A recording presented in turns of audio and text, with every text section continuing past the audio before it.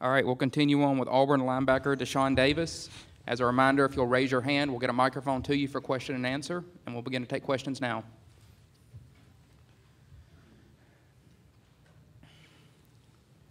We'll start back here on the camera platform, middle row, all the way to the right. Hey there, we're from uh, Mobile cover, and obviously Okay. representing Mobile, you know, you're here, SEC Media Days. That's got to be a dream coming Yeah. from, you know, Prichard and all that stuff. What's your message to them and all of Mobile to get to where you are? Uh, my my message would be to dream. Um, you know, like you just said, man, just coming from Mobile, and it's it's a lot of talent in my era, um, in my area that, that really don't leave Mobile, and um, that's kind of the, the downside of it. But just dream, man, because in high school I didn't know I would be in this moment. I didn't know I would be the, the college football player that I am now. I always knew I could be, and I always dreamed of being. So I think that's what got me here. So, like I said, just a dream, man, and, and anything can happen. Again, if you'll just raise your hand, we'll get a microphone to you. Go right here on the second row, left side. Uh, What do you remember about Will Muschamp from his season with you guys uh, a few years ago? Um, coach Muschamp was a, a really good coach, man. Um, I think you know he, he put us in position to make make some plays, and a, a lot of guys uh, bought into the system, but a lot of guys couldn't pick up the system also. But I think um, you know when he came in, um, we, we we were needing a defense coordinator, and he came in, and a lot of guys bought into him, and we tried to get it right, and we tried to get it right, but for some reason, you know, we couldn't. So. I mean, we had to move on, and I'm glad Coach Steele came in. He, he's doing a great job with us now. Go down here on the front row, all the way to the left. What sort of progression have you seen out of the running backs trying to replace Kerryon Johnson? I think they've been doing a really good job. Uh, this spring, they a lot of guys showed flashes. Uh, Kam Martin ran really tough when he ran. Um, Whitlow came in and as a as a freshman or redshirt freshman, you know, you didn't know if he had the ability or if he didn't, but he made a lot of plays. Uh, he ran really well in the spring game. C.J. Tolbert ran really well. Um, Malik Miller is doing a, a, a, very good job of running aggressive. Asa came in as a, a freshman. Um, when he was practicing with us, he's supposed to be going to prom. You know, we joke, joked about, um, joke with him about that all the time. So, I think we have a really good running back committee. But um, as Coach Malzahn said, Kam Martin is, if we had a game today, Kam Martin would be the guy. But fall count should be really interesting banging with those guys. Go over here on the aisle on the back row to the right. Uh, Jarrett Stidham called the LSU loss the lowest of the low last year. Yeah. And you guys had that big lead and everything. Yeah. Can you relive that for a second, and then how did it propel you guys forward? Uh, you want to take me back to that? but yeah, that was a that was a really tough loss, man. And um, I think it was it was probably at that time was the worst loss that I felt. You know, uh, blowing that lead on the road, knowing what was at stake, not uh, winning at LSU for a long time. But I think that that made us who we were. Um, you know, we faced adversity after that game, and uh, we came back in the team room. The first thing that Coach Malzahn told us was we still had a chance. You know, our, our goals for the year to get to the SEC championship and to get to the uh, college football playoffs were still intact. And as you as you know, we, we came close to um, you know achieving those goals of winning the SEC championship. We came up a little short, but we found out about ourselves um, as teammates, as as men, and as Auburn University. And I think we, we handled it pretty well coming back. Go to the camera platform toward the right side, all the way in the back. Hey, Deshaun. So- So a lot of expectations for Auburn defense going into this season. Just Yeah. how much do y'all read about that, or do you not really pay attention to it? One, and then two, the position that you're in. How much pride do you take on that defense? You're one of those guys that really gets excited. You know, when Mm-hmm. a big play happens, whether you make it or one of your teammates on the defensive side. Yeah, um, answering question number one, you know, we know we can be pretty good. Uh, we don't know if we will be as good as last year defense or if we will be better. Because right now it's just all paper talk. You know, no matter if they say we're going to be good, we're going to be bad. At the end of the day, when it comes down to it, we have to step on the field and, and make plays if we're going to be a good defense. And um, for me personally, I take a lot of pride in being an Auburn linebacker. And um, I I embrace every moment. I embrace every game because I know for me, once at one point in time, I was not on the field, and um, I've I missed three consecutive years of football at one point, uh, starting with my senior year in high school because of ACL injury. So, I mean, I, I, never take a snap for granted. That's why every time you see me make a play, I celebrate because I know, uh, like I was just saying, one point in time, it wasn't me out there. And I'm living a dream right now, man, playing college football, playing in the SEC, representing my state, playing in, in state, and having a lot of people at home representing and you know rooting for me. I'm, I'm living a dream right now. We'll go down here on the front row, left side. Sean, it's been so long since you had that injured knee. Uh, Yeah. I remember that in high school. A lot of teams kind of looked away from you because Mm-hmm. of that, but Auburn didn't. Does this still kind of fire you up to, to think about, you know, a lot of people overlooked you and you kind of have to fight through that now? Yeah, it, it definitely does, and it's not a day go by that I, I, I don't think about it. Um, I know a lot of things are against me anytime I step on the field. Um, from them saying I'm too short, to my, my arms are not long enough, and, and but you're gonna always have doubters. You know, it's always gonna be no matter how good you are, it's always gonna be that negative category. But um, my position coach always tell me when people talk negative about you, they, they should have have to say but after that. So they can say, you know, he's 5'11", maybe six foot, but and after you, when when you hear that but, it needs to be a, a long list of good things that they can say, and I, I think I'm, I'm I'm doing that so far. I'll go over here, standing to the right.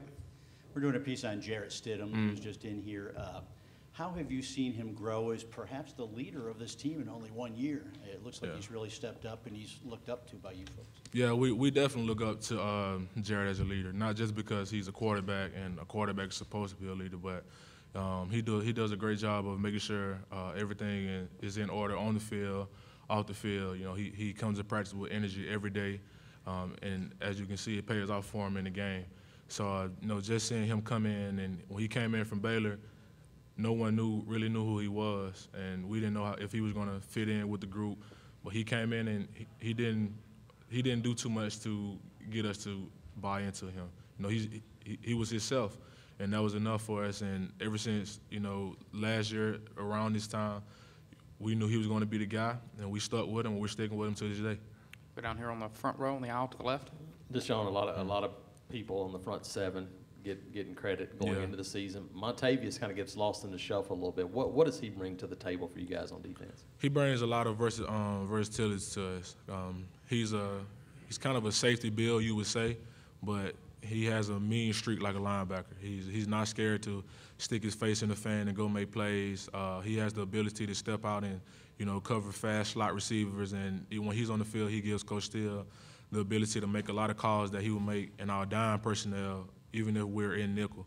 You know, that's just kind of just the kind of ability that he has. But it's, it's some other guys in our room that can do the same thing. But I probably would say he's right now he's the most athletic linebacker that we have, and you know I'm glad to have him on the side of me. Go over here on the second row to the right side. Deshaun, you've been quoted before as saying that I'm actually the defensive coordinator. He just gets Yeah. paid. What does it mean to be so respected by a guy like Kevin Steele? I mean, it means the world to me, man. Um, you know, just seeing how long Coach Steele has been in the coaching game. He's been in the SEC. He's been in the NFL. And um, he, he tells me every Saturday, man, he, he's giving me the keys, you know, drive the car. And, and that's, that's just his way of telling me I'm on the field, you know, be him. You know, be, be, that, uh, be that mind, be that leader, bring that passion and the energy that my defense, that my defense need. And um, just each and every day, I, I try to do that. Anytime we go to the practice field, we're in meetings, I'm locked in. I watch a ton of film with him um, and my position coach. That's why he has so much trust and faith in me. And um, I, sometimes I feel like I can make a call for him. You know, that's that's how I feel like I'm in his back pocket. So uh, we, we kind of have the same mind, but uh, like I said, he's been in the game for a long time, so he's way ahead of me. We'll go to the camera position, standing on the front row there in the middle. What type of what type of player is Jordan Peters, and how have you seen him kind of progress since he arrived on campus? Yeah, Jordan has definitely progressed. Um, he, he's a kind of a athletic guy that we can use in that nickel position. Um, his ability to tackle makes him a really good player. You know, um, a lot of DBs they have the the title of not being good tacklers, but Jordan sticks his face in the fan and he makes some plays with us and run fits, and he has the the wiggle enough to to stick with receivers when we want to play man and make some good plays in man coverage. I think uh, the biggest play for him last year was against Alabama when he had to step up and cover uh, Calvin Ridley. And when I looked over that, it, it wasn't a doubt in my mind that he had the ability to do it and that he had the confidence to do it. He made the play. You know, he got up excited to turn. It was a big third down stop for our team. So I, I, I look for some big things for him coming up this season. We'll go standing over here to the right side. Uh, your coach just called uh, Russell one of the most underrated players in the SEC and one of the most underrated defensive linemen. You know, what does he bring to the table specifically for your defense, and what's it like playing behind those that group as a whole? Uh, Dante is, is, is a really good interior uh, defensive tackle, and I kind of think he also, I kind of also think you know he gets overshadowed, well not overshadowed, but a lot of people don't you know talk about him for whatever reason, and uh, he's hands down one of the best, the best players on our team, and uh, for me to be successful, those guys have to be successful, and I always give them credit, but I know, I know when it when it comes down to it, if I'm making a play, they've done their job, and you might see me celebrating, but if you rewind that tape, you're definitely going to see them blowing someone up and recreating a new line of scrimmage. But Dunn is a really good, a really good um, defensive lineman for us, and I appreciate him a lot. Go to the camera position on the front row to the right side. Coach Malzahn, obviously a, a successful coach. For those of us that can't be there at practice and in the locker room, what makes him successful? Why? Do, what do you think would surprise us about how he coaches behind the scenes? Um, cause he's he's kind of intense. Um, I don't think a lot of people would see that from him. You know, he um, he kind of looks laid back on on TV or when he gets on camera, like he's kind of nonchalant. But when we're at practice, man, you know, he wants things done, and he, and he can get intense. You know, uh, he, he can raise his voice. Uh, he, he'll yell at you sometimes, and, but it's, it's, it's just coaching. There's no, it's nothing different that anyone else, you know, is doing or should be doing. Um, but you know, we don't take offense to it. It, it. Like I say, it's just coaching. But I think you know, Coach Malzahn is a good coach, and I, I'm glad he's my head coach. We'll go standing over here to the right side. Can you talk about the growth of Daniel Thomas and his personality and presence on the defense? Yeah, I've seen um, Daniel grow up a lot. Uh, he played a lot his freshman year. You know, toward the end of the season, his biggest game was in the biggest game of the, during the biggest game of the season against Alabama on the road.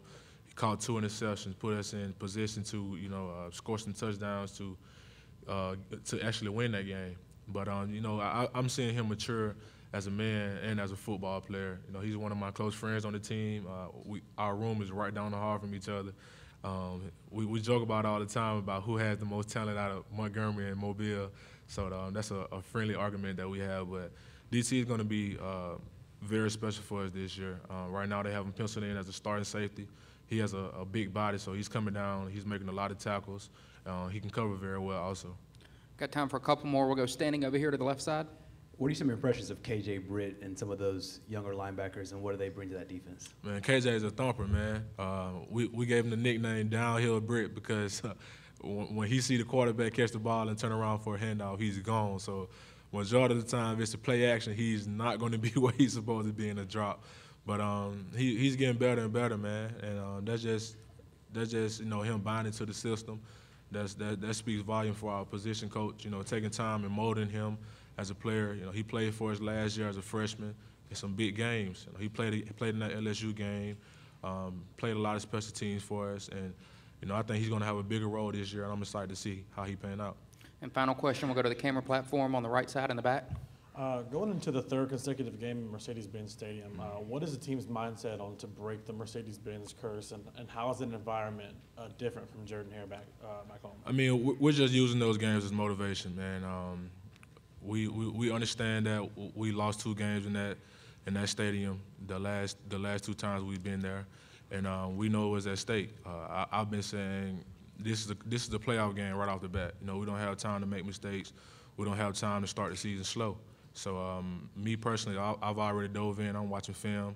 Um, Washington's a really good team. Um, we have our hands full. We know that, but so like like I say, we we've been working hard this summer, man. Um, I'm, I'm, trying to put my team in the best position that I can possibly put them in to make plays on the defense side of the ball. And I know for me to do that, I have to be on top of my game. So uh, I'm I'm looking forward to having the best season that I can have and, and, and possibly being, being one of the best linebackers in the country at the end of the year. Thanks, Deshaun.